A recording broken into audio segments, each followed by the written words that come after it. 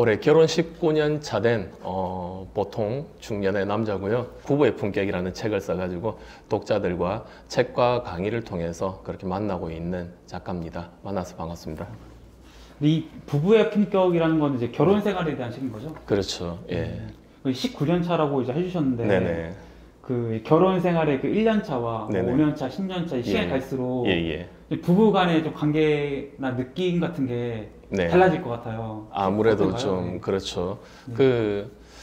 그뭐 처음에 만나가지고 네. 우리가 다들 연애를 할 때는 네. 다들 뭐 설레고 뭐 그렇죠. 보고 싶고 가슴 두근거리고 네. 한데 그것도 연애도 오래 하다 보면 네. 조금 이렇게 좀 식상해지고 그렇죠. 조금 매너리즘에 빠지지 네, 않습니까? 네. 근데 뭐 결혼 생활도 마찬가지라고 생각을 합니다. 이제 그 결혼이라는 그 어 그런 뭐라고 하죠? 우리 관습, 관례 그런 것들이 묶어 놓은 그래서 이제 같이 살 뿐이지 네. 연애를 만약에 10년, 20년, 30년, 40년 한다고 해도 마찬가지고 이제 같이 결혼이라는 이제 그 의식을 통해서 우리가 같이 살면서 네. 시간이 10년, 20년 그렇게 지나는 것과 거의 비슷하다고 생각을 하거든요. 근데 아무래도 이렇게 한 집에서 같이 살다 보면 네. 어 그런 조금 음, 처음 만났던 그런 설렘은 갈수록 조금 더 줄어지, 줄어들지 않나 네. 생각을 하고요. 그런 것들을 어, 우리가 조금 계속 remind 해가면서 음. 어, 항상 연애 시절처럼 생각하고 좋은 모습들만 보려고 네. 그렇게 사는 노력이 중요하지 않나 그렇게 생각을 합니다. 왜, 우- 왜 우리가 이제 뭐 예. 사랑의 뭐 유통기한이 뭐 2년이다 이런 얘기 하잖아요. 아 그런 말이 있습니까? 네, 그 예, 뭐 결혼할 때 그 네. 설레는 감정이 예, 예. 보통 얼마나 나요? 이게?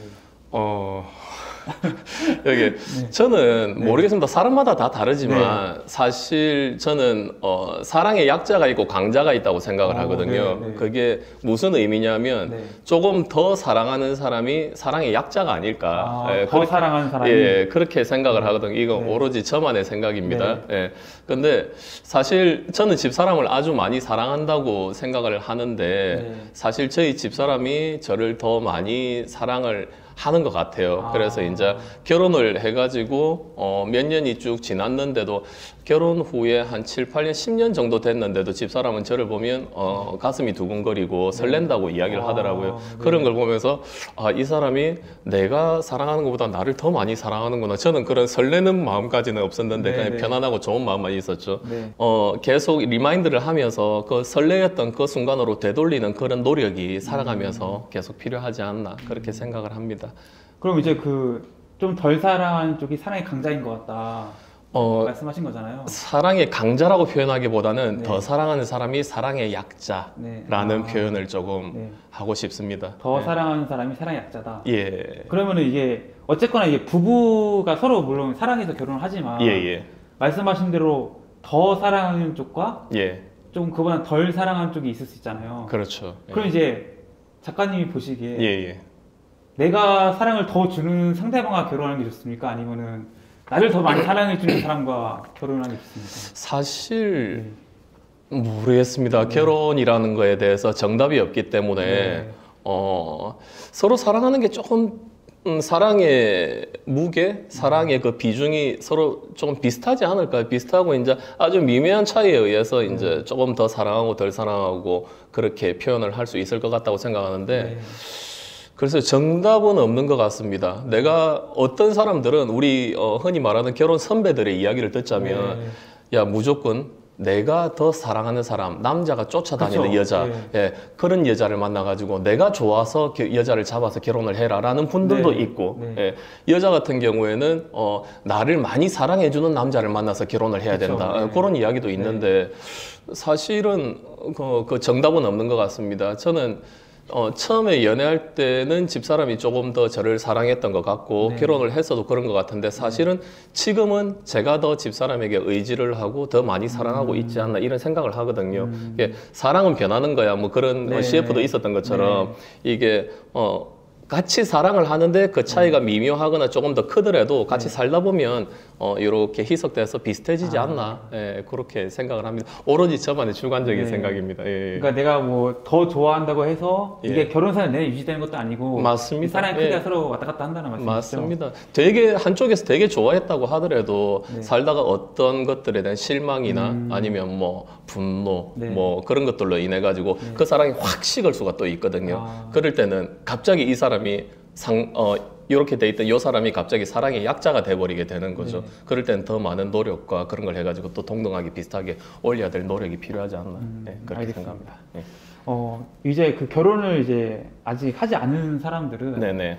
사실 결혼이란 걸 누구랑 해야 된다 이 고민이 엄청 나거든요. 결혼을 이미 하신 입장에서 그리고 또 결혼에 대한 책을 쓰신 입장에서 결혼 대체 누구랑 해야 되는 거예요? 결혼은 네.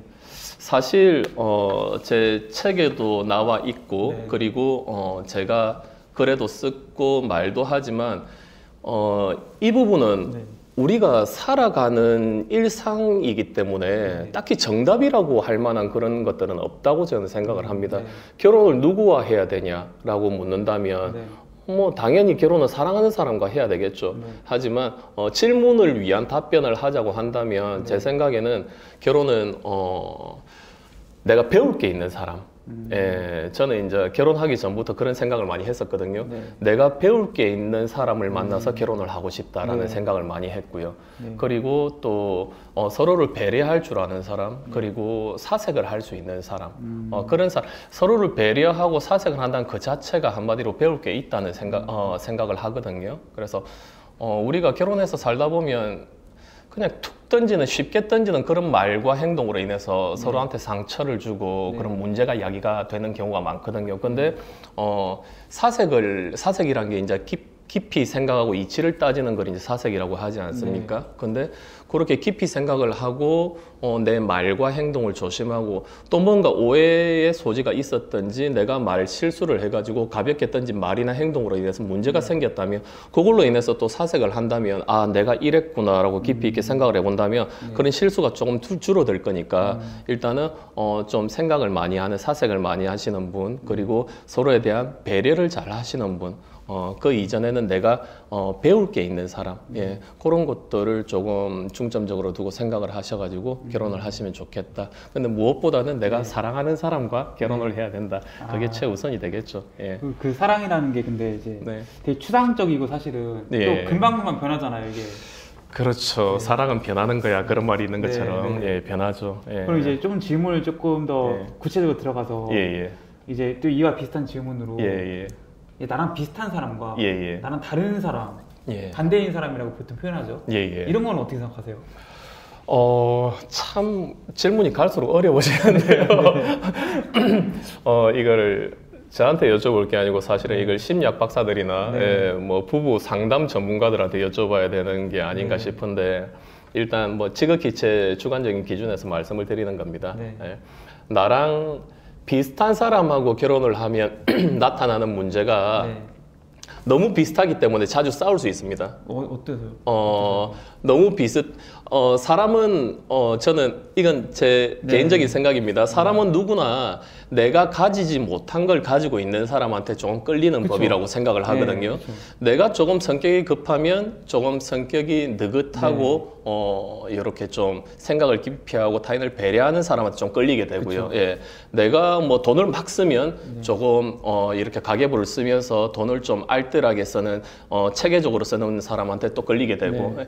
남자가 남자한테 느끼는 것과 이성 간에 느끼는 것과 다 비슷하다고 생각을 하거든요. 사람은 누구나 내가 못 가진 거를 가지고 있는 사람한테 조금 끌리게 된다. 네. 그런 생각을 하는데 서로가 비슷하다면 어 만약에 그 비슷한 게 서로가 장점만 가지고 있다면 그 이상 좋은 결혼 생활이 있을 수가 없겠죠. 너무 좋겠죠. 그런데 그 부분에서 상대의 단점들을 보기 시작한다면 아우 내가 나는 이런 게 내가 마음에 안 드는데 상대도 이렇네라고 하면서 서로가 계속 서로가 못마땅해지는 거죠. 음. 그렇게 된다면 네. 어 이게 계속 뭐 마찰이 있을 수밖에 없겠죠. 네. 또 한편으로는 나와 조금 다른 사람, 다른 사람인데 그게 다르다고 해서 내가 장점을 가지고 있고 상대가 단점을 가지고 있는 네. 그런 다른 사람이기보다는 내가 가지, 가지지 못한 그런 장점을 가지고 있는 사람을 만나서 결혼을 하게 된다면 또 배울 것들이 있어가지고 네. 더 좋겠죠.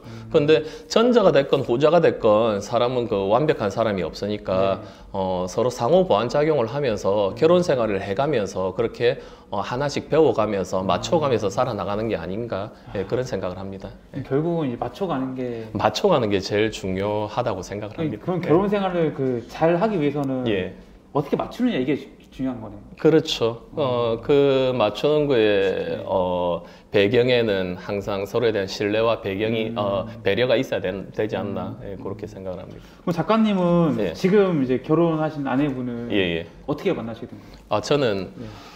어, 사실 어, 우리 구독자분들께서 별로 궁금해하지 않으실 만한 질문이기도 한데요. 예. 저는 이제 24살에 군대 제대를 하고 서울에 올라와서 한 몇 달 동안 잠시 일을 한 적이 있습니다. 예, 그때 이제 만났던 회사 직장 상사였고요. 집사람이 저보다 두 살 연상입니다. 아, 네. 예, 저는 이제 부산에 어, 학교를 졸업하지 않은 상태였고, 저는 부산에 있었고, 집사람은 어, 서울에 있었고, 그래서 5년 동안 주말 연애를 하고, 그렇게 이제 2003년도에 결혼을 해가지고 지금 이제 만난 지는 한 23년 정도 됐고 결혼한 지는 19년 정도 됐습니다. 회사 선배가 어 회사 선배하고 이렇게 연애를 하게 됐죠. 아, 예. 뭐, 그, 그러면 이제 그 아내분한테 어떻게, 뭐가 끌렸던 거예요? 어, 네. 일단은 너무 반듯한 사람이었습니다. 너무 반듯한 사람이고 음. 네. 어, 좀 약간 저는 약간 좀 어, 톡톡 튀는 사람이거든요. 네. 어디로 튈지 모르는 그런 네. 사람인데 저희 아내는 약간 좀 FM, 예, 아. FM이고 좀 올바른 사람이다. 네. 그러고 일단은 어 뭐 여자분 여자분들도 그렇고 남자분들도 그렇고 서로를 볼 때 일단 제일 먼저 보는 게 외모 아닙니까? 그쵸, 그쵸. 일단은 예뻤습니다. 아, 일단 예뻤고 네. 성격도 좋고 네. 배려도 하고 네. 어 그렇게 좀 어, 그, 제가 가지지 못한 걸 제가 음. 결혼관으로 삼고 있었던 배울 만한 게 있는 사람이다. 아. 예, 그런 생각이 들었고, 사실은 집사람이 저한테 처음에 이렇게 먼저 살짝 이렇게, 예, 먼저. 예, 예, 먼저 그렇게 하지 않았나 하는 네, 아. 저만의 착각을 하고 있습니다. 아, 알겠습니다. 예, 예, 근데 그 진짜 그 아내분이 정말 예, 예. 정말 예쁘신가 봐요. 그 책에 보니까 아, 조상 4대가 덕을 지어서 예. 내가 이 지금의 아내분을 만났다. 예. 이렇게 표현하셨더라고요. 예. 그 4대를 했다는 거는 어떤 예. 의미일까요? 음, 어, 저희 아내가 많이 뭐 되게 아름다워 가지고 그런 표현을 썼다기보다는 네, 네. 어, 옛날부터 어른들이 그 두고 쓰는 말들이 있지 않습니까? 뭐 예를 들어 가지고 큰 사고가 날 뻔했는데 그거를 모면했다든지 아니면 뭐 로또가 당첨됐다든지 그렇죠. 야너 조상 3대가 덕을 지었다 네. 예, 이런 이야기를 하거든요. 그래서 저- 저희 아내와 같이 살다가 네. 음, 그냥 나하고 살아주는 걸 후회하지 않게끔 하기 위해서 그런 마인드를 계속 심어주기 위해서 네. 나라는 사람과 결혼한 거를 참 잘했다 네. 그런 선택을 잘했다라는 생각이 계속 들도록 어떻게 보면 세뇌 교육을 제가 질끔질끔 아, 계속 네. 시키는 거죠 당신은 조상 3대가 덕을 지어가지고 나하고 네. 결혼했다고 그런 이야기를 하는데 네. 사실은 그 말을 하면서도 한편으로는 조금 약간 죄책감도 들고 음. 어, 그리고 미안한 마음도 있고 한데 그 말의 끝에는 항상 나는 조상 4대가 덕을 지어서 당신과 결혼을 했다 아. 예, 그런 이야기를 하거든요 네. 예, 살면 살수록 제가 이 사람과 결혼을 참 잘했다 하는 네. 생각이 들고 참 배울 게 많고 현명한 사람이다 음. 하는 그런 생각을 하면서 살아가고 있습니다. 그 생각은 그러면 그 연애 때부터 지금까지 변하지 않는 생각인 거예요? 음, 살아오면서 점점 더 그게 어. 그런 감정이 좀 커져갑니다. 어. 예. 그럼 이제 그 어쨌거나 뭐 19년이라는 결혼 생활 동안에 예, 예. 이제 많이 싸우기도 하셨을 거 아니에요. 예, 예. 그 이제 예. 그 우리가 이제 흔히 얘기하는 결혼은 현실이라고 많이 예, 얘기하잖아요. 예, 예. 결혼 현실이라는 그 말 뜻의 의미가 예. 약간 어떤 의미일까요? 뭐 다툼이나 갈등 뭐 이런 건가요? 예. 그 전에 이제 많이 싸웠다고 이제 말씀을 하시는데 네. 사실 그 저희 아내와 그렇게 싸운 적이 거의 없다고 오. 봐야 됩니다. 네. 싸움이란 거는 어 둘이 비슷해야지 싸움이 일어나는데 이게 체급이 다르면 네. 싸움이 안 일어나거든요. 그쵸. 저는 어, 화가 나면 막 다다다다 하는 스타일이고 네. 저희 아내는 가만히 아무 말도 안 하고 가만히 그냥 네네 하면서 있는 스타일이거든요. 손뼉이 마주쳐야 소리가 나는데 그쵸, 그쵸. 저 혼자서 화가 나가지고 당신은 다다다다다 하면서 뭐 이렇게 이야기를 해봤자 네. 혼자서 화를 내고 혼자서 기가 빠지는 그런 음. 현상이 계속 반복이 되거든요. 그래서 이 비슷해야지 싸우지. 어. 그 어떻게 보면 이걸 저희 아내를 뭐 부처님이라고 표현을 해야 되나? 예, 그래 보니까 싸울 일이 별로 없었습니다. 어. 예, 사실 살아오면 싸운 일이 거의 거의 한 번도 없었다고 봐, 봐도 될 정도로 거의 저 혼자만의 일방적인 잔소리였죠. 네. 예, 그래가지고 어, 결혼은 현실이다. 음, 결혼을 해서 살다 보면 이제 연애할 때 미처 못 느꼈던 그런 것들을 보게 되거든요. 연애를 하면서는 이제 어, 서로 남자도 멋있게 차려입게 나오고 여자도 예쁘게 하고 나오고 하니까 막 오 예쁘다 하면서 안 보니까 보고 싶다 뭐 네. 이렇게 하는데 결혼해서 살다 보면 빨래를 갖다가 양말을 뒤집어서 세탁기에 던지는 것도 보게 네, 되고 그쵸. 뭐 치약을 뭐 뒤에서 붙었지 중간에서 붙었지 이런 것들도 네. 문제가 있을 수 있고 그냥 사소한 그런 습관들이 어, 눈에 보이게 되거든요. 결혼을 하게 되면. 그러니까 그런 것들이 안 맞다, 좀 고쳐달라, 이렇게 계속 이야기를 하면 서로에 대한 잔소리가 돼버리니까 네. 그런 것들로 인해 가지고 조금씩 갈등이 생기게 되는 거죠. 예, 근데 이제 그거를 이제 현명하게 잘 유연하게 서로 맞춰 나가야 될 필요가 있고 그런 것들을, 보, 그런 것들이 보이는 그 자체가 현실이 아닌가. 그 연애를 오래 해도 알 수 없는 그런 것들을 결혼을 해서 살다 보면 마주치게 된다. 예, 그런 현실들을 마주하게 된다. 그런 말씀을 예, 책에 써놨습니다. 아, 갑자기 확 와닿았어요. 그 예. 연애할 때는 이제 줄안 보니까 보고 싶은데 그렇죠, 예. 결혼하면 맨날 보잖아요. 예, 예, 그러니까 예. 안 보고 싶나요, 그죠? 결혼을 근데 어, 저희 아내와 네. 평소에 농담 삼아 그런 이야기를 하는데 사실은 농담이 아니고 농담만 진담반인데 네. 아 진짜 옛날에 그런 노래도 있지 않습니까? 보고 있어도 보고 싶은 네, 그런 네, 노래도 있는 네, 것처럼 네. 근데 사람을 보고 있어도 보고 싶을 그런 느낌을 받을 때가 있거든요. 음. 예. 그러니까 서로에 대한 사랑이 너무 지극하고 진짜 닭살 돋게 우리 구독자분들께서 보시기에 네. 닭살스럽게 막 이렇게 해서 그런 감정이 든다기보다는 네. 그냥 어, 참, 이 사람에 대한 그런 애틋한 마음과 그런 정이 살아가면서 더 쌓여가지고, 네. 어, 서로를 위하는 마음, 어떻게 보면 다 사랑이죠. 그쵸, 예, 그쵸. 근데 그런 마음 때문에 그런 보고 있어도 보고 싶은 그런 것들이, 네. 어, 일어나는 현상이 아닌가, 네. 예, 그렇게 생각을 합니다. 이제 그 5년이라는 시간을 이제 예.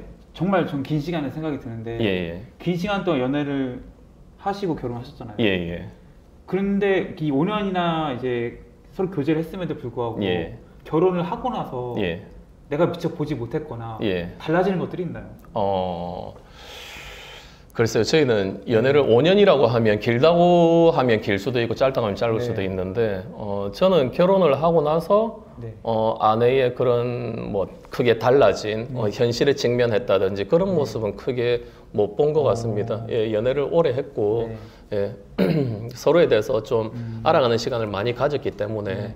예, 그런 것 같습니다. 어, 예. 그럼 결혼을 하게 되면은 우리가 좀 명심해야 될 거 뭐 있을까요? 어, 결혼을 하게 되면 뭐 명심해야 될 거는 제일 큰 게 아까도 말씀드렸지만 뭐 어, 조금 내가 희생을 하고 배려를 한다. 예, 그리고 뭐 서로에 대한 신뢰를 가져야 된다. 예, 신뢰를 어, 가진다기보다는 상대가 나한테 줘야죠. 예, 아. 제가 저희 아내에게 신뢰를 줘야 되고 서로가 서로한테 신뢰를 줘야 되지 않나 그런 생각을 하고요. 네. 결혼을 하면서 명심해야 될 거라고 하면 그 사업을 하면서 이런 이야기를 많이 합니다. 누군가의 손해는 누군가의 이익으로 귀결이 그쵸, 된다. 예, 이런 이야기를 많이 하거든요. 그거는 뭐 자본주의 사회에서 뭐 어쩔 수 없는 현상이니까요. 네. 근데 어 이것도 결혼을 해가지고 살면서도 어 나의 이익은 아내의 손실로 귀결이 된다. 아. 그리고 아, 나의 손해는 아내의 이익으로 귀결이 된다. 그런 걸 갖다가 네. 어 명심을 하고 살면 좋은 게 네. 예를 들어서 우리가 밖에 나가가지고 특히 한국 남자들 네. 에, 술값 계산할 때, 네. 야 나와 내가 할게 하면서, 아 오늘 내가 할게 형은 어, 뒤로 가 네. 있어 하면서 그렇게 하는데 그게 어떻게 보면 이렇게 좀 자신감, 드러냄, 좀 자만심, 네. 어, 쉽게 말해서 전문용어로 가오라고 하지 않습니까? 네. 아 오늘 내가 계산할게 하는 것처럼 예를 들어서 그런 모습들을 집에서 어, 남편과 아내가 같이 해본다면. 아 여보 오늘 설거지 내가 할게. 당신 맨날 하는데 오늘은 설거지 내가 할게. 나와요. 아 아니에요. 내가 할게요. 이런 식으로. 예, 뭐 빨래를 하고 설거지를 하고 아이를 돌보고 뭐 운전을 한다든지 모든 사소한 것들로부터 어, 그런 식으로 서로 가오를 조금 세우면 네. 예, 상대가 조금 편해지지 않을까. 예, 그런 생각을 합니다. 그, 아, 나- 저는 이제 부부라는 게 일심동체가 되잖아요. 예, 예. 그래서 이제 나의 이익이 이제 상대 손해로? 상대의 예. 같은 이익이라고 생각했어요. 왜냐면 예, 예. 하나니까 부부는. 아, 그, 어, 아, 근데 그렇죠. 이제 예. 말씀하신 게 예, 예. 어, 나의 이익이 배우자의 손해일 수 있다라는 예, 게 예. 너무 와닿는 게 아 그렇죠. 내가 예. 좀 편하자고 뭐 양말 뒤집어 놓고 하면은 예. 배우자 그것도 펴야 되는 거잖아요. 예, 예. 저는 저는 어 조금 솔직히 뭐 제 말로 제 입으로 이런 말씀드리기 좀 그렇지만 네. 조금 깔끔한 스타일이거든요. 아, 그래서 네. 양말을 뒤집어 벗어 놓는다든지 그런 경우는 거의 없는데 네. 어. 저희 딸한테 조금 미안하지만 네. 저희 딸이 이제 중학교 2학년인데 가끔씩 이렇게 양말이나 옷을 거꾸로 뒤집어서 벗어 놓는 네. 경우가 있습니다. 그럴 땐 저는 어 제가 세탁기를 돌리는 경우가 많거든요. 네. 세탁기 버튼 하나만 누르면 되니까 그게 그쵸, 어렵지 그쵸. 않잖아요. 예, 그래가지고 저녁에 집에 있을 때 세탁기 돌리고 빨래 널고 하는데 저는 그럴 때는 빨래가 뒤집힌 그대로 말려가지고 그대로 개가지고 양말 그 갖다 놓거든요. 그러면 입으면서 아빠 왜 양말이 뒤집혀 있잖아. 그냥 네. 어 네가 거꾸로 벗어 놓은 거야. 그렇게 하거든요. 그 본인이 스스로를 불편을 조금 느껴봐야지 어, 똑바로 하지 않나 어, 이런 생각에서 그렇게 하는 거고 제가 어, 어릴 때 그 할머니 할아버지하고 같이 자라, 자랐습니다. 네. 예, 그 저희 할머니하고 어머니가 밖에 나갔 저희 대가족에 살 대가족이었거든요. 네. 그 할머니하고 어머니가 저 밖에 나갔다 오시면 그 당시에는 이제 지금 어 초등학교가 국민학교죠. 예, 지금 국민학교 다닐 때 할머니 어머니가 밖에 시장을 갔다가 오시든지 하면 저는 집에서 설거지를 항상 제가 미리 해놨거든요. 오. 예, 저희 할아버지나 제가 먹은 식기를 갖다 설거지를 해놓는 습관이 있었거든요. 왜냐하면 어 저희 할머니가 좀 약간 좀 투덜걸 아 투덜이라고 하기 네. 그렇고 저희 할머니가 넋두리처럼 네. 어, 넋두리처럼 아유 집에 와가지고 이렇게 밥그릇 쌓이는 거 보면 참 복장이 터진다 이런 말씀을 하는 걸 제가 몇 번 들었습니다. 네. 근데 입장을 바꿔 생각해 보니까 밖에 나갔다가 시- 뭐 놀러 갔다 온 것도 아니고 그쵸. 저희 어머니하고 같이 시장 보고 왔는데 집에 저희 할아버지나 누나나 저나 이 식기를 쌓여 있으면 네. 밖에 나갔다 온 사람 입장에서는 깝깝할 것 같더라고요. 음. 예, 그때부터 이제 생각을 했죠. 아 밖에 나갔다 오실 때는 어, 설거지 같은 거는 없이 깔끔하게 내가 해놔야 되겠구나. 그래가지고 저 국민학교 때부터 습관적으로 습관적으로 그 어, 밖에 누가 나갔다 들어올 때는 아, 항상 나가기 전에 모습 그대로 해놓는 게 어, 나간 사람에 대한 예의다라는 생각으로 지금도 어, 항상 저희 아내가 혹시라도 밖에 나갔다 올 네. 경우가 있으면 항상 저는 뭐 설거지를 해놓고 아. 그렇게 하거든요. 네. 그래가지고 그런 습관을 어, 가지고 살면 어, 서로한테 좋지 않을까. 음. 예, 그런 거, 그런 사소한 것들이 어, 배려의 시작이지 않나. 예, 그렇게 생각을 합니다. 예. 내가 조금 피곤하면 됩니다. 예. 사실 근데 이거는 아내분의 말을 한번 들어보고 싶습니다. 아, 예. 오늘 언제 한번 기회가 된다면. 오늘 같이 올 걸 그랬네요. 예. 아 근데 그 작가님 그 말씀 들어보니까 예. 계속 이제 그 부부간의 그 신뢰라는 걸 굉장히 강조하신 것 같아요. 예, 예, 예. 그럼 작가님은 이제 아내분에게 예. 그 신뢰를 주기 위해서 어떤 노력들을 하고 계세요? 어, 저는 사실 어떻게 보면 이런 말씀을 드리면 되게 고리타분하다고 생각하실 수가 있는데요. 네. 옛날에 어른들이 어, 그런 말씀을 하시지 않습니까? 아침에 일어나면 아버지한테 아버지 어머니께 아, 문안 그렇죠. 인사를 하고 네.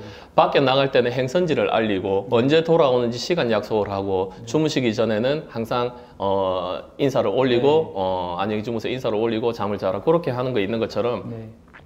저 같은 경우에는 항상 저희 아내한테 행선지를 알립니다. 예, 어, 오늘 어디 가서 누구와 만나고 몇 시까지 돌아오겠다. 아. 예, 그렇게 행선지를 알리고 집에 돌아와서도 어, 만나서 무슨 이야기를 했고 내 생각은 이런데 당신 생각은 어떤지 서로의 이제 생각을 공유를 하면서 그렇게 하니까 저희 아내는 제가 어디 갔고 누구를 만났고 뭘 하는지 그리고 무슨 대화를 했는지를 거의 대부분을 알고 있거든요. 아. 예, 그래가지고 근데 사실 저희 아내는 그 저게 주위에 엄마들 만나고 오고 하면 네. 무슨 이야기는 자세히 저한테 이야기를 안 하는데 예 근데 저 같은 경우에는 그렇게 하는 게 어, 부부간에 이야기할 게 뭐 그런 이야기가 시발점이 돼가지고 그쵸, 그쵸. 예 그렇게 뭐 그걸 통해 가지고 또 책 이야기도 나올 수 있고 그쵸. 강의 이야기도 나올 수 예. 있고 정치 문화 종교 이야기도 나올 수 있고 그쵸. 근데 그런 사소한 것 어떻게 보면 사소하고 어떻게 보면 개인 사생활이라고 볼 수 있지만 음. 부부간에 그런 어, 뭐 그런 그런 것 가지고 뭐 사생활이라고 하기에는 좀 그러니까 네. 서로 내가 하루 있었던 일들을 서로 공유를 하면서 음. 그런 것들로부터 대화의 물꼬를 터 가지고 서로 이렇게 대화를 통해서 공유를 한다면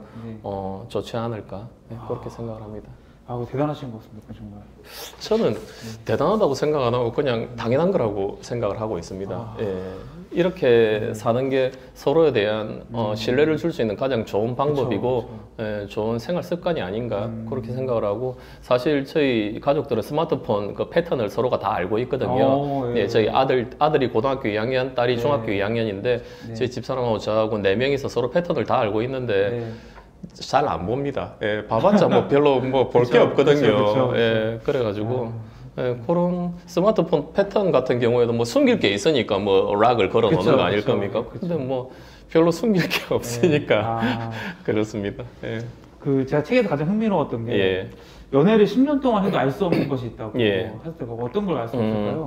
이게 어떻게 보면 아까 말씀드린 어 거하고 약간 좀 중첩되는 건데요. 네. 뭐 상대의 사소한 습관이죠. 음. 예, 상대의 사소한 상대의 사소한 습관들은 네. 연애를 아무리 오래돼 해도 밖에서 만나니까 미처 알 수가 없었는데 같이 살면서 보면 그런 것들이 눈에 상대가 머리카락을 뭐 흘리고 다닌다든지 양말을 뒤집어 놓는다든지 그런 사소한 습관들이 네. 보이는데 그거를 어 내가 항상 줍고 내가 항상 양말을 또 뒤집어 놓고 그렇게 하면 사람은 누구나 지치게 마련이거든요. 그쵸, 그쵸. 예. 서로가 서로를 위해서 조금 배려를 하고 노력을 해야 될 필요가 네. 있는데 어, 그런 것들이 어, 없고 한쪽에서 계속 그거를 치우고 뭐 고치고 이렇게 하면 음. 어, 이내 어, 좀 피곤해지고 어, 지치게 마련이니까 네. 근데 연애를 해서 연애는 현실이고 연애를 해서 결혼을 해가지고 연애를 10년 동안 해도 알 수 없는 것들을 연애 결혼을 해서 살다 보면 알 수 있는 것들 그런 상대의 사소한 습관들을 네. 그렇게 알 수 있지 않나 생각을 하고 제일 또또 여성분들이 많이 이야기하는 거는 네. 어, 남성분들이 그 무슨 TV 프로그램을 보니까 그 최민수 배우가 네. 어, 앉아서 소변을 본다고 하더라고요. 네, 그래가지고 네. 그 부인이 싫어해가지고 밖에 튀는 거를 소변을 네. 소변 흘리는 걸 싫어해가지고 네. 앉아서 소변을 본다고 하는 것처럼 뭐뭐 그렇게 할 수 있는 분들은 그렇게 하고 그건 또 그렇게 하는 것도 어떻게 보면 남자의 남성성을 빼뜨는 어, 폭력 같은 거라고 이야, 하는 이야기도 있어가지고 네. 할수 있는 분들은 그렇게 하고 아니면 조금 이렇게 좀 조심해서 볼일을 본다든지 네. 아니면 뭐 이렇게 하고 나서 뒤처리를 깔끔하게 한다든지 뭐 그런 사소한 습관들 그런 것들을 연애를 10년 해도 알 수 없는 것들이지 않을까 아, 그렇게 생각을 합니다. 그 그러면은 예. 요즘에는 사실 이제 뭐 성에 대한 인식들이 많이 개방이 돼가지고 예, 예.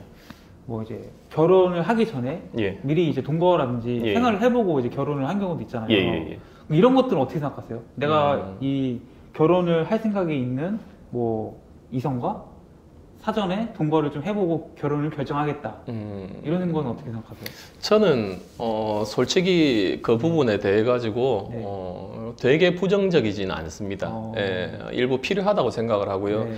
대신에 어, 결혼이라는 의식만 안 했다 뿐이지 네. 대신에 동거를 하는 데 있어서도 상대에 대한 책임은 분명히 따라야 된다고 그쵸, 생각을 하고요. 그쵸. 특히 남자가 여성에 대한 네. 어, 그런 책임은 네. 어, 같이 산다고 그 혼인 도장에 도장만 안 찍었다 뿐이지 그쵸. 같이 산다고 하는 거는 결혼이란 걸 안 했다 뿐이지 네. 동거란 거는 같이 산 거의 뭐 어, 서류를 뺀 어, 결혼이나 마찬가지인 거니까 그런 데 있어 가지고는 서로에 대한 어, 책임감이 아주 음, 중요하게 필요하다고 그렇게 생각을 하고요.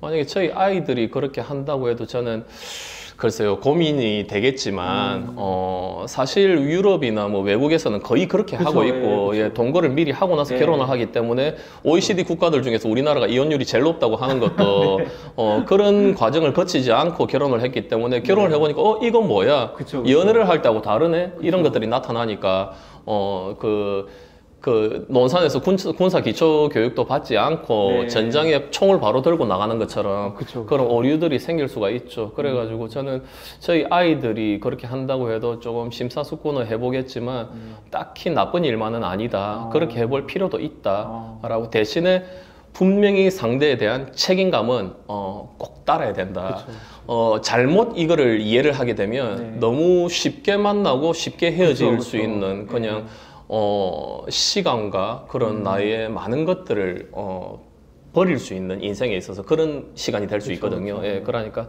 제일 필요한 게 상대에 대한 책임감, 음. 음, 그건 분명히 따라야 된다고 생각합니다. 요즘 보면 뭐제 친구들 중 결혼한 친구들 보면은 예, 결혼은 했는데 애는 안 나는 경우가 많거든요. 예, 예. 어떻게 생각하세요 이런 것들은?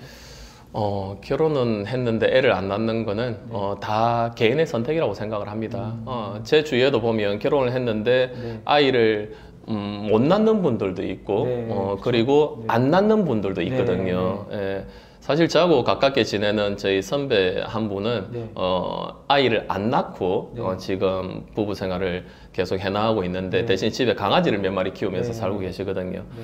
근데 어 저는 아이를 집에 강아지 키우면 참 예쁘고 행복하고 기쁨도 느끼고 보람도 느끼지 않습니까? 네. 근데 저는 그게 아이들을 키우는 것만은 못하지 않나라는 오. 생각을 합니다. 왜냐하면 어, 애완동물도 키우면서 그런 기쁨과 그쵸. 행복과 그런 것들을 많은 것들을 느끼는데 네. 하물며 사람이고 내가 낳은 자식인데 예, 그 아이들을 통해 가지고 얻는 그 기쁨과 그 행복의 시간은 말로 표현할 수 없다고 생각을 합니다. 아. 그래서 저는 가급적이면 어, 아이를 낳는 것이 좋지 않나 예, 그렇게 생각을 하는데 네. 물론 뭐 다 개개인의 선택입니다. 예. 혹시 그러면 뭐 강아지나 이런 뭐 고양이도 키우 아닙니다. 안 아, 키웁니다. 아 이만 키워보신 예, 제가 집에 뭐, 어, 물생활이라고 하죠. 네. 물고기는 뭐, 저기, 열대어는 조금 키우고 있는데, 아, 아이들 키우면서 계속 이런 생각이 들더라고요. 네.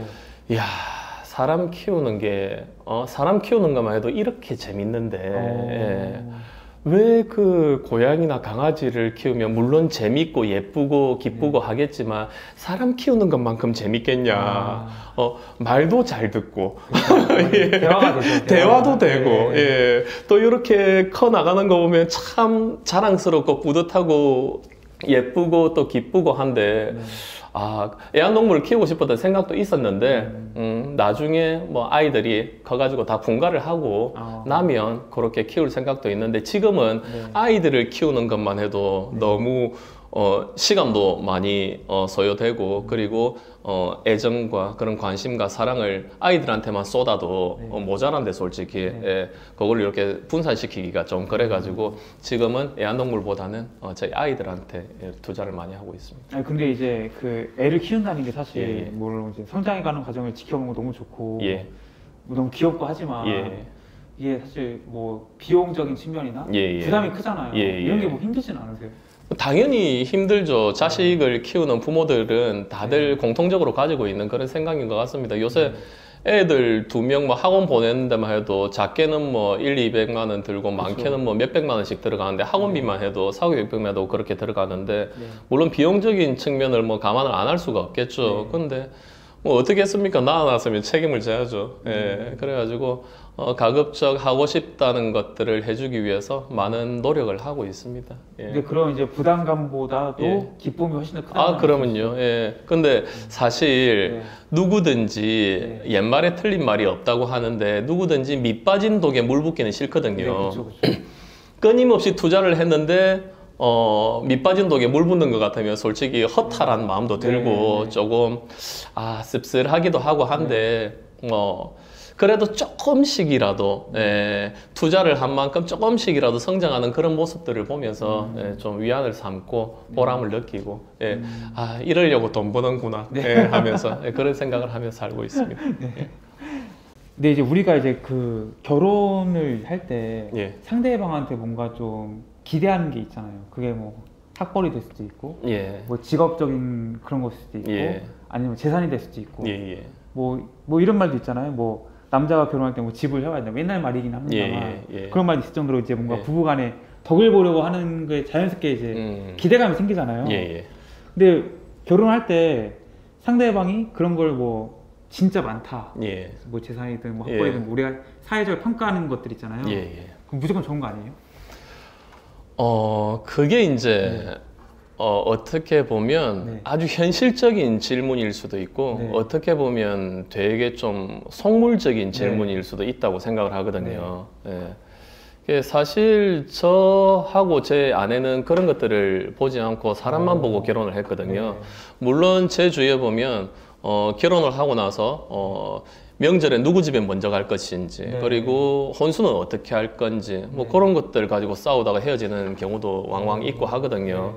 그리고 남자는 뭐 키를 몇 개 가지고 와야 되고 네. 그런 거 있는데 어 그런 것들을 보면 그 사람을 보는 게 아니고 어 그냥 물질을 보고 하는 게 아닌가? 네. 그러면 그 사람보다 더 좋은 비슷한 외모와 비슷한 성격에 더 좋은 사람이 있으면 네. 언제든지 이렇게 옮길 수 있고. 예. 또 옮길 수 있고 옮길 그쵸. 수 있고 그러면 뭐 어, 끝이 없는 거거든요. 네. 그래서 어, 그 외적인 것보다 물질적인 것보다는 네. 그 사람이 우선이 되어야 되지 않나 음. 예, 그렇게 생각합니다. 물론 요즘 집값도 많이 올랐고 네. 살기가 옛날보다 많이 힘들어지고 팍팍해졌지 않습니까? 네. 근데 어, 옛날에 어르신들이 하시는 말씀이 어, 그 원래 결혼 생활은 단칸방부터 시작하는 거다. 밥솥 하나 사고 네. 전자레인지 하나 사고 하는 그 재미도 있다. 네. 이렇게 하는데 어, 사실 지금도 그렇게 결혼 생활을 만들어 가시는 분들이 많이 있을 있죠. 거라고 생각을. 합니다. 근데 요새 다 SNS가 워낙에 이렇게 대중화되어 있다 보니까 그런 것들을 보면서 다 너무 좋은 것들만 음. 하고 맛있는 것만 먹고 그런 것만 보다 보니까 다 TV에 나오는 연예인들처럼 다 잘 먹고 잘 사는 줄 아는데 네. 어, 다 처음부터 키를 뭐 집키, 차키 해가지고 가고 혼수도 몇천 몇 억씩 해가지고 가고 그렇게 하는 줄 아는데 사실 안 그런 분들도 많이 있다고 저는 생각을 음. 하거든요. 그래서 그렇게 어, 외적인 것, 물질적인 것만을 보기보다는 네. 사람을 보고 하는 게 더 우선시 되지 않나, 우선시 되어야 되지 않나 음. 그렇게 생각을 합니다. 작가님의 상황은 어땠어요? 결혼하실 때? 저는 어, 결혼할 때 상황이 별로 좋지 않았습니다. 예, 아내- 아내분. 예, 저희 집사람은 어, 사회 초년생이라고 하긴 그렇고 네. 어, 저희 집사람은 서른 살 저는 스물아홉 살, 스물여덟에 결혼을 네. 했거든요. 근데 저희 집사람도 뭐 회사에서 막 이제 과장을 단 상태였고 음. 어, 혼자서 그렇게 노력해가지고 네. 조금 조금씩 돈을 아. 모아가지고 했고 저 같은 경우에는 더군다나 네. 참 지금도 저희 아내한테 너무 미안한데 네. 어, 학생 때 결혼을 했거든요. 저는 대학원 다닐 때, 아. 예, 대학원 다닐 때 결혼을 해가지고 대학원 석사 1년 차 마치고 네. 어, 2년 차 넘어갈 때 겨울에 결혼을 했거든요. 그래서 저 같은 경우에는 집에 좀 보조를 좀 받고 네. 예, 그렇게 결혼을 했는데 그런 부분이 아내한테 지금도 조금 미안하고 음, 그래서 뭐 제가 더 이런 이야기를 할 수도 있을 건데 네. 어. 예. 그때 그런 뭐 그 장인 어른의 반대라든지 이런 거 없었어요? 아우 저희들은 결혼할 때 양가 집안에서 다 반대했습니다. 아, 그래요? 네. 집사람이 저보다 두 살 많은 네. 거는 사실은 아무 상관도 없다고 저는 생각을 하는데 네. 어른들이 봤을 때만 어, 그 당시에 그 당시 어른들이 예, 그렇죠. 보는 게 조금 그랬나 봐요. 네. 어, 나이 많은 여자하고 결혼을 한다라는 네. 그런 선입견이 좀 있었던 것 같고 아, 네. 저희 장모님도 궁합을 봤는데 네. 저희 아내하고 저하고 궁합이 안 좋다고 하고 저희 어머니도 궁합을 봤는데 저하고 아내하고 안 아, 좋다고 해가지고 어, 다 양가 집안에서 반대를 했는데 네. 뭐 그 로미오와 줄리엣처럼 뭐 사랑의 힘을 누가 이기겠습니까? 네. 예, 그래가지고 저는 이 여자와 결혼을 하겠습니다 하면서 어. 집사람도 이 남자와 결혼하겠습니다 해가지고 그렇게 결혼을 했죠. 어, 모르긴 몰라도 뭐 저희 장인어른 장모님은 모르겠는데 장인어른 아직 저를 좀 안 좋아할지도 모르겠어요. 아니 예, 그, 예. 그 궁합이 지금 양쪽을 봤는데 안 좋았다는 거잖아요. 예, 예, 실제 어때요? 실제 궁합은? 살아보니까 네. 음, 제가 어, 구슬 안 믿거든요. 네. 그리고 궁합도 안 믿습니다. 네. 예. 어, 그래가지고 사실 처음에는 좀 찝찝하죠. 찝찝하죠. 예, 사람이다 그렇죠. 보니까. 네. 근데 어른들이 또 더군다나 용한 데서 보고 왔다 해가지고 네. 제가 아우 그런 소리 하지 마시라고 네. 사람이 중요한 거지 하면서 근데 지금까지 살면서 그런 궁합이 안 좋았다라는 생각을 해본 적이 없습니다. 오. 예, 궁합은 말 그대로 그 철학관과 그 점쟁이들이 돈 벌라고 그 해놓은 물론 그 평균치는 있겠지만 네. 뭐 그런 거고 저는 뭐 썩 믿지는 않습니다. 그러니까 뭐 안 안 좋다고 해서 결혼했는데 잘 살고 있다. 그렇죠. 예. 거죠? 예. 뭐안 좋다는 그 말을 가슴에 새기면서 더 잘 살려고 노력을 하면 되는 어, 거니까. 예. 예, 어우, 그래가지고 좋은 생각인 것 예, 같습니다. 예. 어. 그 이제 요즘에 진짜 뭐 그것도 되게 강하잖아요. 뭐 명절날 가가지고 예, 예. 뭐 제사 지내고 이런 거 갈등 그런 거- 그런 갈등은 없으셨어요? 저는 참 그 부분에 대해서 네. 그 말씀드릴 게 참 많습니다. 네, 네. 예. 어, 명절하고 제사 문화에 대해서 저는 참 네. 드릴 말씀이 많은데요. 음. 사실 제가 3년 전에 그, 어, 제사를 가지고 왔습니다. 제사를 모시고 아, 왔거든요. 네, 네, 예. 네. 저희 아버지한테 한 10여 년 전부터 아버지 제가 제사 모셔오겠습니다. 이렇게 오, 했는데 네. 저희, 아, 왜냐하면 저희 어머니가 한, 어, 정확하게 제가 기억이 안 나는데 한 50년 정도 저희 집에 제사를 모시면서 네. 사실 이거를 남이라고 하면 좀 그렇지만 네. 내 조상도 아닌 남의 집에 시집 와가지고 남의 조상을 50년 동안 네. 어, 제사를 모시면서 네. 음식 차리고 네. 어, 그렇게 설거지하고 하시는 그런 모습들을 보면서 네.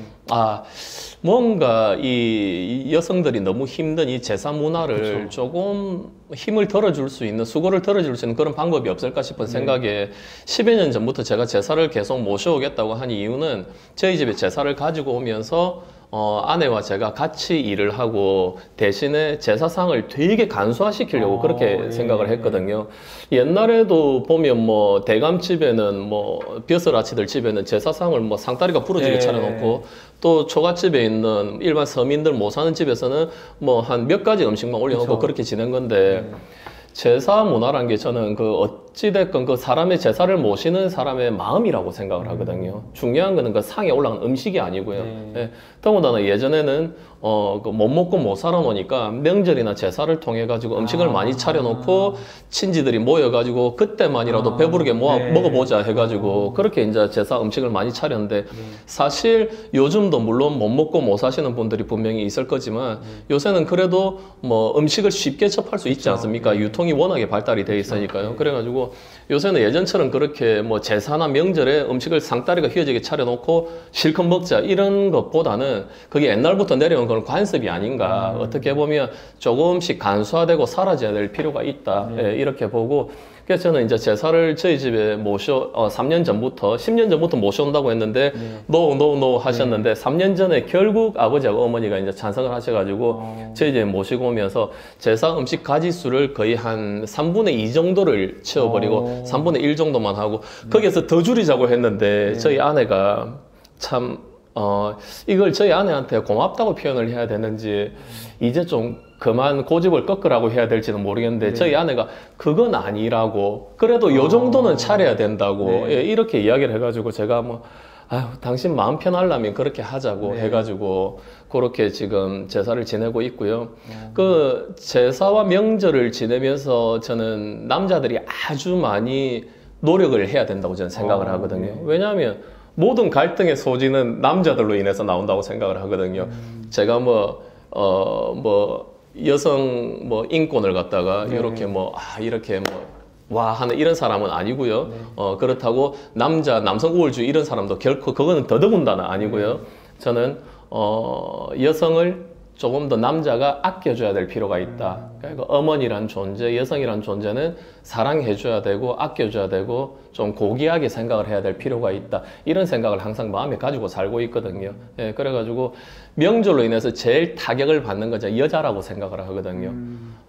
명절에 어, 보통은 어, 친가에 있는 아 저게 남자의 친가 그러니까 시댁에 있는 시간이 많죠 네, 명절에는. 예, 그러면 거기서 이제 맨날 설거지 하 계속 설거지 하고 삼시세끼만 하는 게 아니죠. 중간에 친척 들어오면 또 해야 그쵸, 되고 예. 다과상 해야 되고 그러면 제사 음식 차리고 다음 날 또 차리고 치우고 차리고 치우고 이 오로지 그 여자들의 몫이거든요. 우리 피디님 같은 경우에도 예를 들자면 뭐 명절에 결혼을 하셔가지고 집에 갔는데 피디님이 설거지를 하고 계신다라고 하면 어머니가 별로 안 좋아할 거는 뭐, 뭐 뻔하지 않습니까? 그게 어, 대부분 어, 아들을 가진 어머니들의 마음은 그럴 거라고 생각을 하거든요. 그러면 그때 못했던 것들은 어, 명절을 마치고 집에 돌아와가지고 어, 남자가 살림을 좀 하면서 아니면 좀 외식을 한다든지 드라이브를 한다든지 하면서 어, 제사 증후군, 명절 증후군으로 고통받는 아내를 조금 더 이렇게 빨리 좀 해방시킬 수 있게 그렇게 해야 되는 남자의 노력이 되게 절실히 많이 필요하지 않나. 예, 그런 생각을 합니다. 그 제사를 가져오자고 했을 때 그 부인분이 반대 안 했어요? 어, 저희 아내는 반대 안 했습니다. 저희 아내도 저하고 같이 같은 생각이었습니다. 제사를 어. 빨리 가지고 오면서 어머니를 어, 제사에서 좀 해방시켜주자. 어. 예, 이런 생각을 했거든요. 그래서 어, 제가 아까 처음에 말씀드린 것처럼 네. 어, 배려를 해주는 사람 그리고 어, 좀 이렇게 배울 게 있는 사람과 결혼을 해야 된다 네. 하는 게 사랑하면서 이렇게 나타나는 거죠. 예. 아마 제사상을 똑같이 차리면서 아니면 더 차리면서 가지고 오자 했으면 아내도 반대를 했겠죠. 네. 그런데 제가 이전부터 계속 이야기를 해- 했습니다. 그 갈수록 제사 문화는 어, 축소가 될 것이고 나중에는 없어질 것이고 우리가 제사를 모셔오면서 제사를 어, 제사 가, 어, 제사상에 올라가는 가지수를 반, 어, 음식 가지수를 확 줄이자라고 이야기를 했고 대신에 어, 내가 음식을 많이 할 테니까 어, 그렇게 크게 부담 갖지 않고 우리가 모시고 오는 걸로 하자라고 계속 예전부터 이야기를 했기 때문에 예, 그런 것들을 아내는 믿고 있었기 때문에 예, 그렇게 크게 반대는 안 했습니다. 그러니까 신뢰가 있었으니까 이제 예, 가능했네요. 그렇죠. 이게. 예. 부모님이 제사상을 이제 계속 안 주신 건 왜 그랬던 거예요? 그냥 저희 어머니 같은 경우에도 저기 아내가 고생할까봐 아. 예 그래가지고 야 그냥 고생은 내가 하면 된다 아. 너는 그냥 어 그냥 하지 마라 그렇게 했는데 음. 저희 어 어머니도 참 배려가 깊으신 분이라 가지고 아. 예, 저희 아내하고 마침 케미가 또 잘 맞아 가지고 다행이다 예, 생각을 합니다 아 이건 진짜 만나면 묻고 싶었는데 예, 예. 지금도 이제 매일 그 아내분과 예, 예. 그리고 이제 자녀분과 예, 예. 포옹과 입맞춤을 한, 하신다고. 예, 예, 아 예. 이게 지금 19년 차? 예, 예. 라고 하셨죠? 예, 예. 이 매일 하시는 거예요? 예, 예. 매일이 아니고 하루에도 뭐 수십 번씩 하죠. 약간 어색하지 않나요? 근데? 예. 볼 때마다 볼 때마다 하고 안아주고 네. 입 맞추고 사랑해요 하고 네. 예, 그렇게 눈을 맞추고 그렇게 하는데 네. 이게 제가 그 중학교 1학년 네. 때인가 2학년 때 저희 아버지한테 처음으로 아버지라고 불렀습니다. 그 전에는 아빠 아빠 했거든요. 네, 네, 어떻게 보면 조금 늦게 아버지라고 부른 걸 수도 있는데 네. 어 근데 근데 처음에 아빠 아빠한테 아버지라고 부르니까 되게 어색하더라고요. 음. 근데 그걸 일주일 해보니까 이게 습관이 되더라고요. 이게 습관이란 게 익힐 습 어, 익힐 습자 익숙할 관 네. 아, 관자 예 그렇게 해가지고 어 그걸 익히기 위해서 처음에 노력하기가 상당히 힘듭니다. 음. 예 근데 여기 습관이 돼버리면 어 요게 어떻게 보면 우리 가족만의 전통으로 자리할 수 있거든요. 그쵸, 그쵸, 예 그래서 저희 아이들이 이제 나- 아까도 말씀드렸지만 지금 큰 애가 남자애 중- 고등학교 2학년이고 네. 둘째가 딸아이 중학교 2학년 올라가는데 네. 아직까지도 이제 아이들이 크니까 입술에 입 맞추는 거는 조금 이제 피하면서 약간 뭐 외국에 사는 것처럼 볼뽀뽀처럼 네, 예, 네. 안아주고 사랑해하면서 볼뽀뽀처럼 네. 이렇게 한다든지 그런 이제 조금씩 변형할 수 있는 방법은 많은데 네. 매일 아침 저녁으로 그리고 나갔다 들어올 들어왔다 할 때 그리고 뭐 하여튼 수시로 눈에 띌 때마다 네. 안아보자 하면서 이렇게 아이들한테도 아, 안아주고 사랑해 하고 뭐 네. 너무 고마워 하면서 그렇게 인사를 하고 하는 게 이제 어느 순간에 저희 가족의 전통이 돼버려 가지고 어. 예, 하루라도 안 하면 좀 어색합니다. 예. 아 그럼 이게 그러면은 결혼을 하시자마자 매일 같이 해오신 예. 아니면 어느 순간부터? 어, 저희 아내와는 결혼하고 나서 계속 매일 그렇게 해온 것 아. 같습니다. 예, 아이들이 태어나서도 예, 그렇고요. 아. 예, 근데 이게 네. 어, 우리가 밥 먹고 그냥 숨 쉬고 그냥 하는 거와 똑같다고 저는 생각을 했습니다. 이거를 의식적으로 안아주고 입 맞추고 사랑해라고 이야기해 주는 거 의식적으로 하려고 생각해 본 적은 한 번도 없는 것 같습니다. 그냥 습관처럼 그냥 계속 했던 것 같습니다. 이 자녀분들이 어렸을 때는 뭐 그런 거 할 수 있다고 하는데 이제 예. 사춘기가 되고 그렇죠. 그렇게 되면은 예, 예. 거부 반응이 저는 되게 심할 것 같거든요. 그렇죠. 그거 이제 안 하다가 했을 때 그런 거고요. 네. 예, 이게 습관이 돼 있으니까 오히려 안 하면 자기들이 먼저 와가지고 아빠 오늘 우리 안 안아줬는데 하면서 그렇게 먼저 하거든요. 그러니까 아. 이게 습관이란 게 참 무섭다. 음. 예, 그런 말씀을 좀 드리고 싶습니다. 한 번도 뭐 거부하거나 약간 피한 적이 없나요? 뭐 그런 적은 없는 것 같습니다. 야. 예. 이제 근데 이거를 혹시라도 일주일이라도 안 하게 되면 어색해질 수가 있거든요. 그래서 매일 하는 게 중요하다. 예. 아 대단하신 것 같습니다, 진짜. 저는 대단하다고 생각을 안 하고 이게 그냥 어 그냥 생활 습관이라고 생각을 합니다. 어. 예. 이제 부부 사이에 꾸밈 없는 사이가 되어야 하지만 예, 예. 최소한 그래도 꾸며야 된다. 예. 이건 어떤 의미일까요? 음, 어, 사실 제가 이 꼭지를 쓰면서 네. 어, 대한민국의 많은 남편분들 그리고 아내분들한테 양방향에서 제가 이 화살 아? 공격이 쏟아질 거라고 생각을 했거든요. 네네네. 그럼에도 쓴 이유는 네. 어, 서로한테 어, 꾸밈 없는 사이가 되어야 되지만 최소한은 꾸밀 줄 아는 사이가 되어야 된다. 어, 이 말을 자, 가만히 잘 생각을 해보면 음. 어, 그 의미를 아실 거라고 저는 생각을 합니다. 물론 음, 저도 아이가 둘 있지만 어, 첫째와 둘째를 낳고 어, 저희 아내가 이제 그 어, 뭐, 가물치도 해 먹이고, 네. 뭐, 곰국도 예, 해주고. 해가지고, 이제 젖 잘 나오라고, 네. 예, 그렇게 했는데, 몸도 많이 불고, 네. 진짜 애 하나 또, 애는 뭐, 새벽에도 몇 번씩이나 그쵸. 깨고 하니까, 네.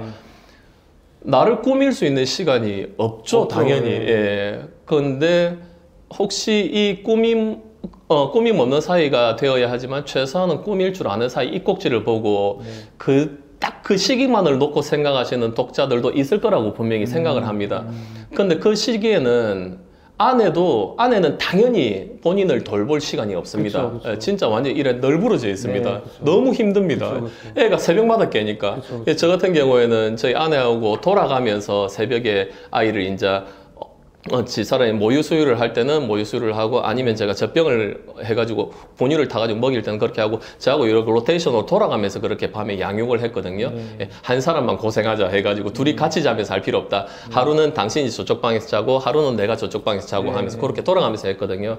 그런 것처럼 그 시기만을 놓고 이야기하는 건 분명히 아닙니다. 물론 어, 그 시기에는 아내는 정말 본인을 돌볼 겨를도 없고 꾸밀 시간도 없었고 저 역시도 그랬습니다. 어, 저 역시도 아침에 일어나면 머리가 몽롱하게 네. 밤새도록 애들 울음소리 들리고 애들은 왜 새벽에 깨는지 모르겠습니다. 새벽에 계속 깨거든요. 네. 예. 낮에 계속 깨면 그나마 나을 네. 건데 아이들이 예, 새벽에 계속 깨가지고 서로가 힘든데 그런 시기만 놓고 뭐 이야기하는 게 아니고 평생을 놓고 이야기하는 겁니다. 예, 그런 시기는 조금 서로가 어, 이해를 하고 예, 포용을 하고 그렇게 지나치고 음, 평생을 놓고 봤을 때 평생 동안 어, 아침에 남자가 남편이 아침에 일어나가지고 부시시한 머리가 이런 모습으로 주말에 하루 종일 그렇게 있고 어 뭐 배는 이렇게 까고 소파에 네. 누워가지고 팬티 하나 입고 TV만 이렇게 과자 하나 먹으면서 이렇게 하고 있고 네. 부인도 머리가 산발이 돼가지고 막 머리 툭 튀어나온 추리닝 입고 이래가지고 철레철레 걸어 다니면서 이렇게 하고 서로가 서로를 보는 게 조금 아우 좀 멋지게 하고 있지 좀 예쁘게 하고 있지 이런 생각이 들지 모릅니다. 예, 안들 수도 있지만 그 모습 그대로 사랑해 준다면 제일 좋은 거고요. 예, 근데 그렇지 않은 분들도 분명히 있을 거라고 생각을 합니다. 그쵸. 그래서 어, 최소한은 꾸미는 게 서로를 위해서 서로한테 보여주는 게 더 좋지 않을까. 그래서 어, 저 같은 경우에도 집에서는 가급적 어, 뭐 추리닝을 입고 있죠. 집에서는 네. 주, 주로 반바지나 뭐 추리닝을 입고 있는데 그래도 조금 옷을 위에라도 똑바로 입고 있으려고 하고 너무 널브러진 모습보다는 조금 아침에 일어나면 그래도 씻고 이런 모습을 보여주려고 하고 저희 아내도 어, 아침에 일어나면 항상 딴 거 몰라도 입술은 딱 항상 바르고 어, 나옵니다. 예, 그래가지고 그런 되게 뭐 집에서 화장을 하고 있으라는 그런 모습이 아니고 남편도 뭐 집에서 되게 뭐 옷을 뭐 잘 입고 있으라는 그런 모습이 아니고 그냥 사소하지만 그러니까 너무 지저분하게 해 있지 말자. 너무 흐트러져 있지 말자. 그런 이야기로 그런 의미로 예, 어, 꾸, 최소한 꾸밀 줄 아는 사이가 돼야 된다. 예, 그런 걸 넣으니까 혹시 그 혹시라도 오해를 하셨던 독자분들은 오해를 안 하셨으면 좋겠다. 그렇게 생각을 합니다. 약간 그러니까 약간 좀 서로 긴장을 하고 있자 약간 이런 건가요? 어, 긴장이라고 하면 서로가 너무 피곤해지니까요. 예, 최소한 너무 더럽게 해 있지는 말자. 예, 너무 너저분하게 있지는 말자. 그런 거죠. 너무 너저분하게 되면 어떤 일들이 좀 생길까요? 어, 이거는 네. 부부, 그럼 부부를 떠나가지고 생각을 해보자고요. 아, 네. 예.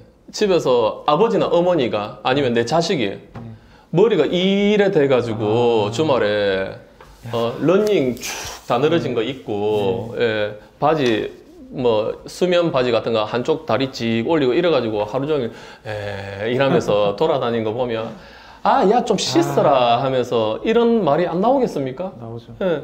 근데 부부 간에는 어차피 다 인간관계거든요. 예, 부부 간에도 당연히 그런 게 나오는 거죠. 예, 그래서 최소한은 꾸밀 줄 알아야 된다. 음, 그런 말씀을 드립니다. 이제 그 부부 사이에서 계속 이제 신뢰를 계속 강조하시잖아요. 예, 예. 이 부부 사이의 그 신뢰라는 것은 언제 깨지게 되는 걸까요?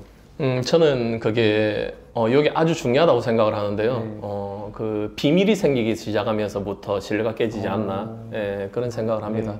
그래서 평소에 많은 대화와 대화를 통한 소통을 통해서 네. 어, 부부간에 음, 서로의 생활을 이렇게 공유를 하고 음. 어, 어, 평소에 상대가 무슨 생각을 하고 누구를 만나고 어, 이 사람이 추구하는 삶의 방향은 뭔지 그리고 이 사람이 요즘 뭘 생각을 하고 사는지 누구를 만나는지 어, 그리고 우리가 앞으로 어떻게 살아나가야 될 건지를 대화를 통해서 많이 이렇게 서로의 마음을 알아나가는 단계가 중요하고 어, 그 비밀은 어, 가지면 어, 그게 바로 신뢰가 깨지는 가장 핵심적인 원인이지 않을까 아. 예, 그렇게 생각합니다. 근데 네. 제가 어, 제 첫 책에 뭐 그런 내용을 살짝 넣었는데 네. 상대가 비밀을 가져야 되지 않는다고 하지만 네. 상대가 비밀이 있는지 없는지는 네. 비밀이기 때문에 알 수 없습니다. 알수 없죠. 네. 근데 최소한 내 스스로가 떳떳해야 되지 않나 예, 그런 생각을 합니다. 비밀이 있다는 걸 아는 순간 깨지는 거군요. 이게. 어 그렇죠. 근데 딱히 굳이 뭐 비밀을 만들 게 있을까요? 정말 뭐 네. 어, 여자친구나 남자친구가 생긴다든지 네. 뭐 외도를 한다든지 아니면 뭐 아내 모르게 뭐 큰 돈을 빌려줬다든지 네. 뭐 그런 것들 말고는 뭐 네. 딱히 비밀이 생길 일이 있을까요? 물론 뭐 그런 것들로 인해서 비밀이 생기는 경우가 아주 많겠죠. 음. 예. 그, 그, 이게 부부 간에 그렇고, 자식 간에는 어떻게 생각하세요? 부모와 자식 간에요. 네. 음, 비밀이 생긴다. 네. 어, 그거는 저는 어, 당연하다고 생각을 합니다. 어, 네. 예. 자식은 갈수록 비밀을 만들 수밖에 없습니다. 그쵸, 예. 예.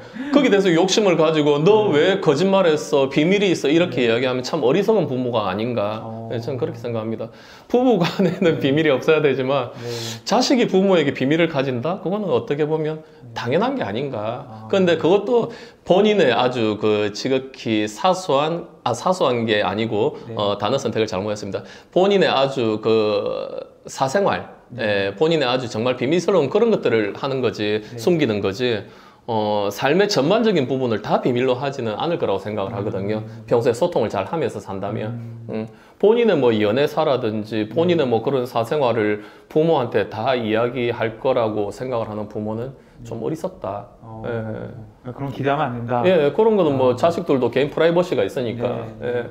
근데 저는 뭐 어, 저희 아내한테는 어 솔직히 저는 뭐 프라이버시가 따로 없습니다. 어. 예. 그래요. 솔직히 이야기하는 게 속 편하고요. 예. 그럼 작가님은 이제 그럼 예. 그 따, 따님이 뭐 예. 이성치가 있는지 없는지 궁금하실 거 아니에요, 당연히. 물어보죠. 예, 항상 물어보는데 요새 남자친구 생겼나 네. 물어보는데 없어 네. 하면서 그러는데 네. 어 그래 진짜가 하면서 그러면 아우 진짜 없어 하는데 근데 아직까지 없는 것 같, 없는 것 같습니다. 근데 뭐 있어도 뭐 할 수 없고요. 그게 자연스러운 현상이니까 저도 중학교 다닐 때 뭐 여자친구를 만났고 네. 고등학교 때도 그렇고 한데 집에 이야기 안 한 적도 있으니까 뭐 네. 그거는 뭐 당연한 어, 삶, 삶의 그냥 뭐 진리, 법칙 당연히 받아들여야 되는 게 아닌가 그렇게 근데 생각. 그거를 이제 뭐 파고 들어가진 않는다 이런 말씀이시죠? 그 파고들면 싸움밖에 안 나죠. 그렇죠. 예, 특히 부모 자식 간에는 특히 사춘기 자녀와 사이에서는 싸움밖에 안 나죠. 음. 예. 그 이제 그 결혼 생활이 깨지는 것 중에 하나가 이제 예. 고부간의 갈등이 있잖아요. 아, 아주 중요하죠. 이거는 예. 어떤가요? 예. 그 명절과 제사처럼 네. 중요한 게 고부간의 갈등이 아닌가 네. 저는 그렇게 생각을 합니다. 제일 고부간의 갈등에서 제일 중요한 거는 저는 남자의 역할이라고 어, 생각합니다. 예. 예. 그 남자가 남편으로서의 역할도 잘해야 되지만 네. 그 자식으로의 역할도 잘해야 된다. 음. 예, 그 역할을 중간에서 이제 그 어, 징검다리 역할을 남자가 아주 잘해야 된다고 생각을 하고 네. 어, 고부 간의 갈등은 저는 일어나는 게 당연하다고 생각을 해야 됩니다. 네, 왜냐하면 어, 결국은 그것도 인간관계거든요. 네. 어, 우리가 사회생활 하면서 그런 이야기 많이 하지 않습니까? 그 네. 사람이 어, 우리가 일을 하는 게 일이 힘든 게 아니고 사람 때문에 힘들다. 그렇죠, 그렇죠. 예. 사람 때문에 힘들었으면 내가 이놈의 직장 뭐 직장 때리쳐야지 뭐 옮겨야지 뭐 이렇게 이야기를 하는데 그런 것처럼 고부 관계도 결국은 인간관계거든요. 네. 음. 남과 여가 만나가지고 서로 맞춰가지고 살아가려고 하는데 남녀도 서로 맞지 않아가지고 덜컹거리고 연애를 하면서 싸웠다 헤어지고 그걸 반복을 하고 결혼했어도 뭐 사내 못 사내 하고 계속 갈등이 생기고 하는데 그렇게 오랜 기간 연애를 하고 같이 사는 부부도 그런데 네. 나하고 연애도 해보지 않았고 나하고 같이 살아보지도 않은 시어머니와 내가 맞다고 맞을 거라 기대하는 그 자체가 저는 어리석지 않나. 음. 당연히 안 맞다.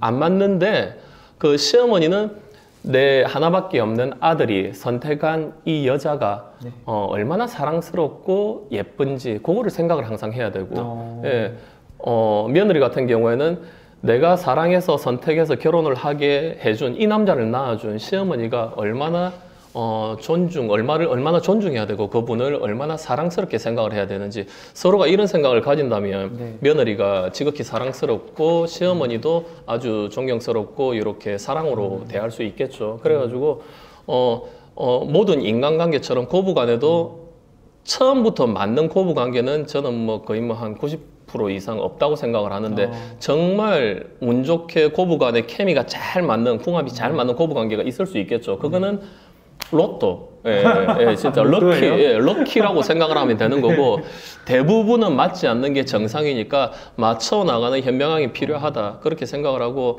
사실 어, 같이 살지, 가- 한 집에서 같이 살지 않는 이상에는 사실 뭐 서로가 기본적인 것만 하고 예의만 차리고 며느리는 시어머니를 존중하고 사랑하고 시어머니 며느리를 아껴주고 내 딸처럼 그렇게 사랑으로 보듬어 준다면 사실 크게 뭐 마찰이 일어날 일이 많지 많을 것 같지는 않다. 예, 그렇게 생각을 하고 무엇보다 중요한 건 남자의 역할이 중요하다. 예, 예. 아 그럼 이 고부 간의 갈등이라는 게 뭐 때문에 생기는 거예요?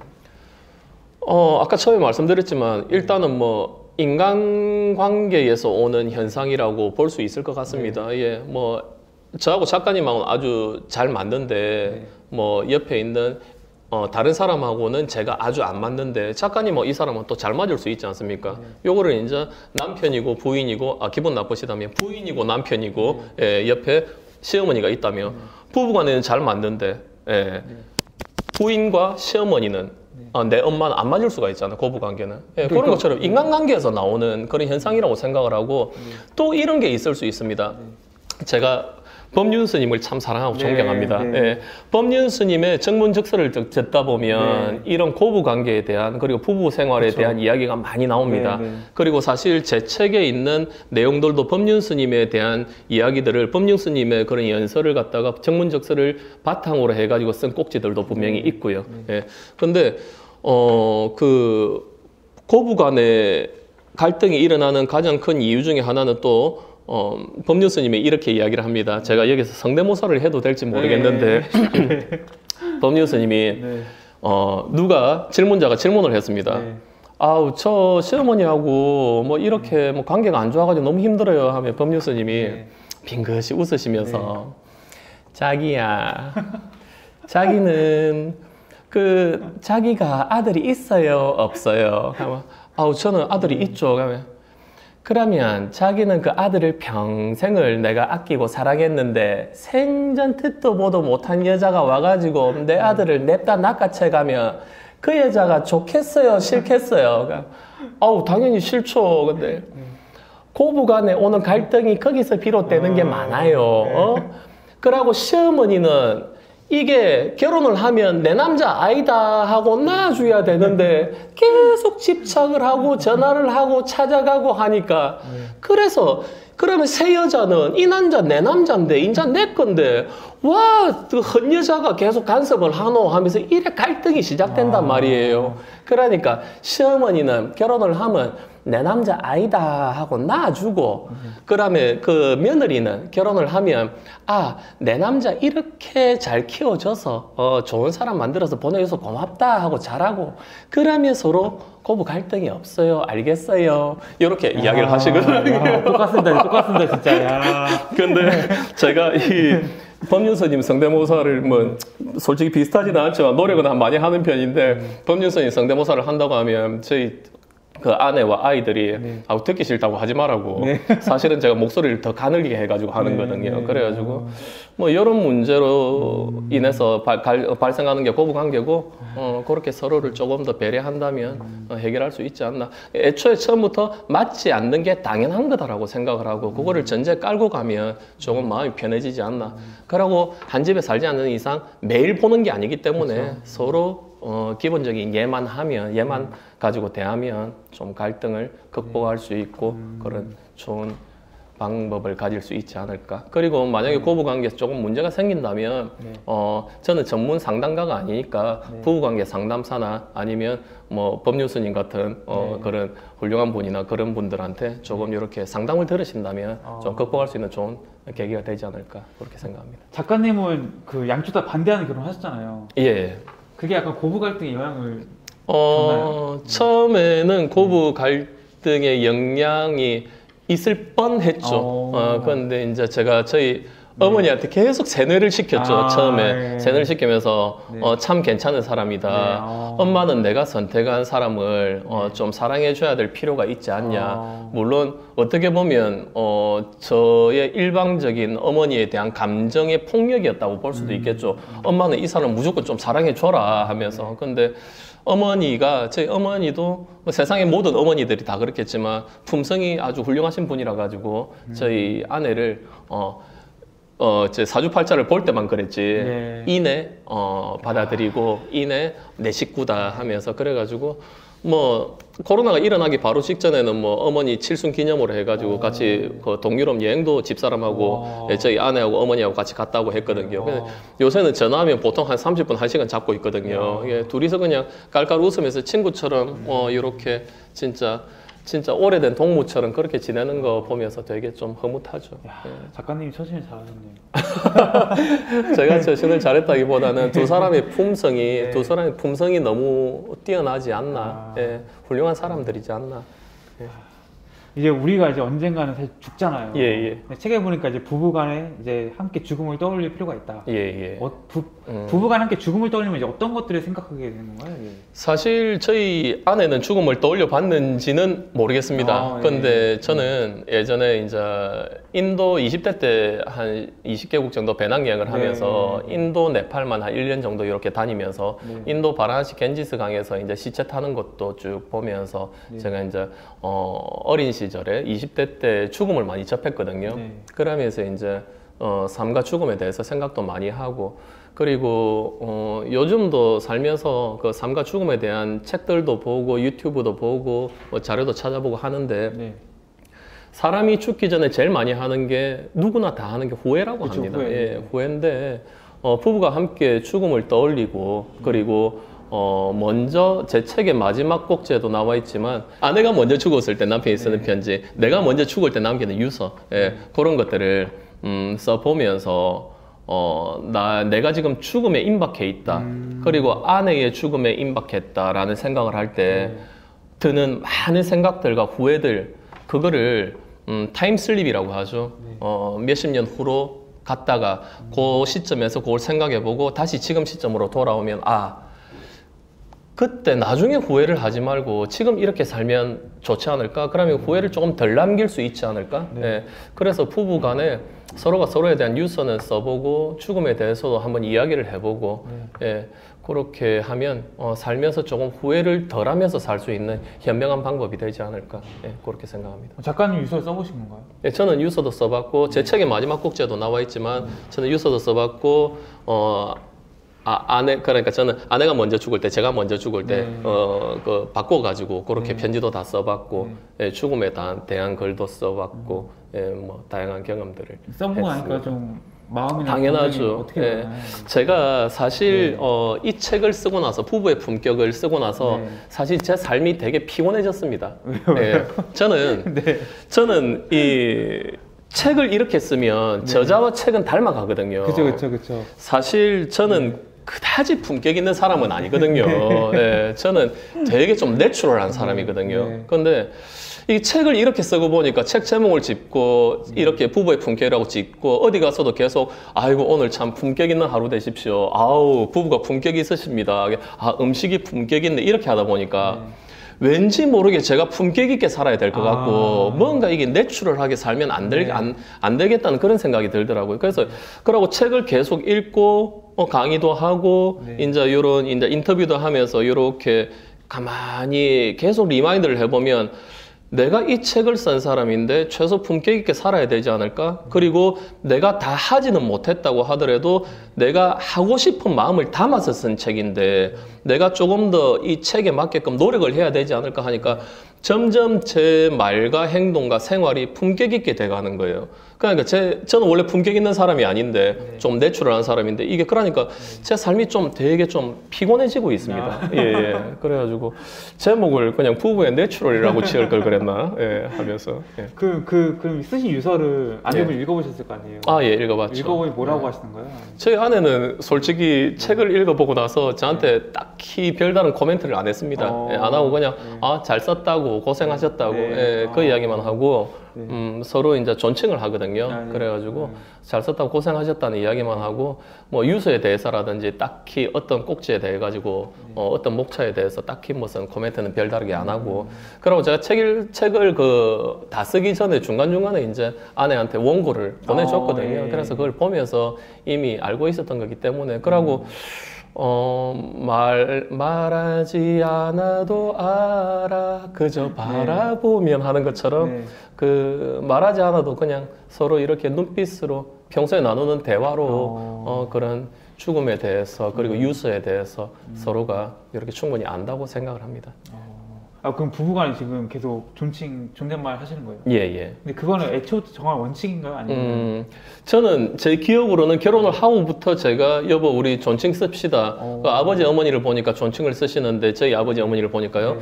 어, 어릴 때부터 존칭을 쓰시는데 그걸 보니까 혹시 그러면 존칭을 쓰게 되면 결혼을 하고 싸울 일이 있더라도 크게 안 싸우게 되고 음. 뭔가 이렇게 서로를 존중해 주면서 좋을 것 같다 이런 생각을 해가지고 제 기억으로는 결혼을 하고 나서부터 존칭을 썼다고 하는데 저희 아내는 저희가 연애할 때부터 존칭을 썼다고 아, 하더라고요. 뭐 물론 이 배경에는 저희 아내가 더, 저보다 두 살 연상이라서 그렇죠. 그런 것들도 분명히 또. 예, 예. 상, 상사기도 하죠. 근데 나이가 어, 남녀간의 나이가 10살이건 20살이건 30살 차이 나도 결혼해서 살다 보면 나이는 상관이 없게 그쵸, 됩니다. 그쵸. 똑같습니다. 네. 예, 그래가지고 그래서 저희 아내는 연애할 때부터 그렇게 썼다고 하더라고요. 그 이면에는 저보다 두 살 누나라는 그런 게 좀 있었을지도 모르겠고 사실 어, 누가 먼저 했는지는 잘 기억을 기억이 나지 네. 않지만 사실 저를 조금 제가 좀 잔소리를 이렇게 툭툭 하는 저를 조금 억누르기 위한 하나의 방편이 아니었나 네. 아. 예, 그렇게 생각을 합니다. 예. 그럼 이게 그 약간 이제 뭐 부부가 존칭 쓴다는 게 예, 예. 존중의 의미가 강하긴 하지만 예, 예, 예. 또 이게 좀 거리감을 느낄 수도 있잖아요. 어, 근데 이것도 습관입니다. 아까, 어, 매일 포옹하고 입 맞추고 하는 네. 것처럼 이것도 습관이라 가지고 나중에 말을 하다 보면 이게 뭐 존칭이라는 어, 생각을 못하고 아. 그냥 일상적인 대화라고 생각하고 사실 그리고 뭐 100% 존칭을 쓰는 건 아니죠. 거의 존, 거의 존칭을 쓰지만 어, 뭐 여보 잠시 와봐요 할 때도 있지만 네. 여보 빨리 좀 빨리 와봐 네. 하면서 이럴 때도 네. 있고 아. 예, 그러니까 뭐 자연스럽게 잘 섞어서 예, 예. 음, 알겠습니다. 아 저는 이제 이 책을 읽을 때 예, 예. 아, 결혼이라는 걸 이제 누구랑 해야 되고 예. 어떻게 해야지 그 행복하게 잘할 수 있을까를 예, 예. 생각하면서 예. 좀이 책을 쭉 읽었거든요. 예, 예. 결혼 아직 하, 지 않으신 분이 있다면 어떤 말들을 좀 음, 해주고 싶으세요? 음. 어, 누구는 이렇게 이야기하죠. 결혼 안 하고 혼자 사는 것도 참 좋다. 요새는 뭐 골드 싱글이라고도 하고, 그쵸. 예, 혼자서 뭐 애완동물도 키우고 아니면 혼자서 살면 이렇게 얻을 수 있는 삶의 여유로움, 자유 이런 게 있다라고 하는데 그 결국은 나이가 들면 부모님은 우리보다 평균적으로 먼저 돌아가시고 자식도 나이가 들면 집을 떠나기 마련인데 그러면 그 그런 말 있지 않습니까? 나중에 나이 들어서 등 긁어주고 물 한 잔 떠줄 수 있는 사람은 어, 남편하고 아내밖에 없다 이런 것처럼 그러니까 그 사람 인자가 이렇게 서로 기대서 어, 네. 있는 것처럼 그 사람은 누구나 의지하고 살아야 되는데 네. 부부간에 어, 그렇게 같이 삶을 살아간다면 어, 사람은 누구나 의지할 곳이 필요하지 않습니까? 예, 저도 의지할 곳은 필요 없다. 나는 그냥 나 혼자다, 독고다이다 이렇게 생각했던 경우도 있는데, 네, 네.